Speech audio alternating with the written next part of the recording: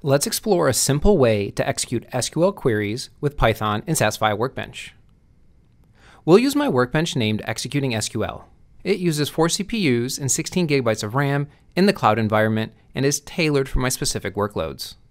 You can adjust these settings to meet your needs. I'll select Start to spin up the workbench.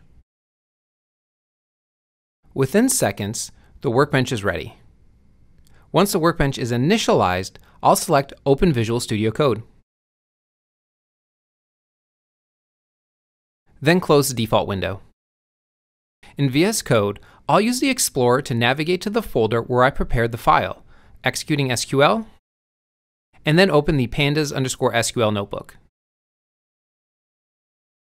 In this example, I'll use the pandas SQL package, which is a very simple package that you can use to execute SQL on pandas data frames.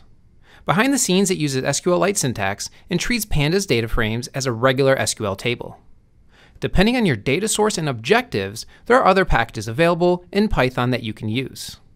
In SAS Viya Workbench, you can install your own packages through the pre-installed Python environment. To start, I'll import the request, the pandas, and the pandas SQL packages. I've already pip installed the Panda SQL package prior to this video.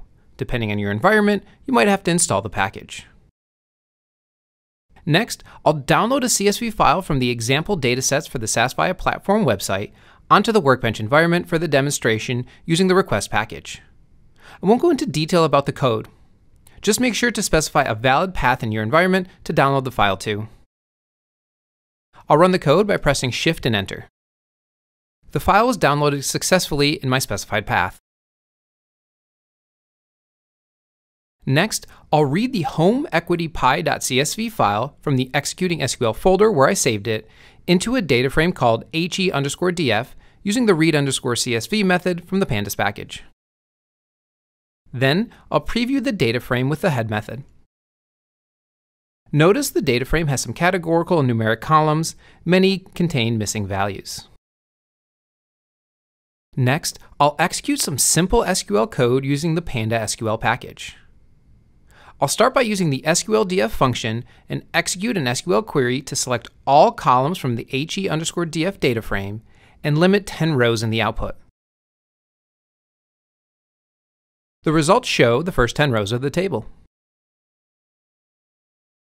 With the Panda SQL package, you can also store the query as a string to make it a bit easier to read. Here, I'll create a variable called preview underscore data and put the same query in it as a string. Then, I'll use the SQLDF function and specify the preview underscore data variable as the argument. I'll run the code. Again, we see the same results. Within the Panda SQL package, you can execute other queries. For example, here I'll use the group by clause to count the occurrences of each unique value in the bad column in the he underscore df data frame. The results show that in the bad column, the value 0 occurs about 4,800 times, and the value 1 about 1,200 times. I'll run another query. This time, I'll count the number of missing values in the bad, MORTDUE, and value columns. There are a variety of ways to do this. I'm just using a sum function with a case expression to achieve my desired result. I'll run the query. The results show that the bad column has zero missing values, but the value column and the MORTDUE columns both contain missing values. One nice feature of using Python to execute SQL code is that you can use Python functionality like fstrings and user-defined functions to create some dynamic code. I'll create a very simple function that calculates the total number of null values in the user specified column. The function is named num underscore missing, and it'll take the data frame and the column name as arguments. In the function, I'll create a query using a Python fstring to use the specified column name and data frame to find the number of missing values. It will then return the results as a data frame. I'll use the new user-defined function on the he underscore df data frame and MORTDUE column. The results display the number of missing values in the MORTDUE column. Lastly, I'll create a function to count the number of missing values in every column within the specified data frame. This function will be called count underscore all underscore missing. The function will combine Python string manipulation, list comprehension, and fstrings to create a dynamic select statement to count the total number of null values in every column in the data frame. The function takes the data frame as the argument. Within the function, it will find every column in the data frame and create a list. Then uses a list comprehension to create the dynamic select statement to count the number of missing values in each column. It will take the generated list and join the elements separated by a comma into a single select statement and then it'll execute that select statement in the query on the data frame. I'll run the code cell to create the user-defined function. Then, I'll use the function and specify the he underscore df data frame.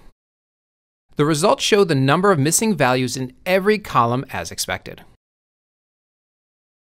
The Panda SQL package is a very simple package that enables you to execute SQL queries on your data frame.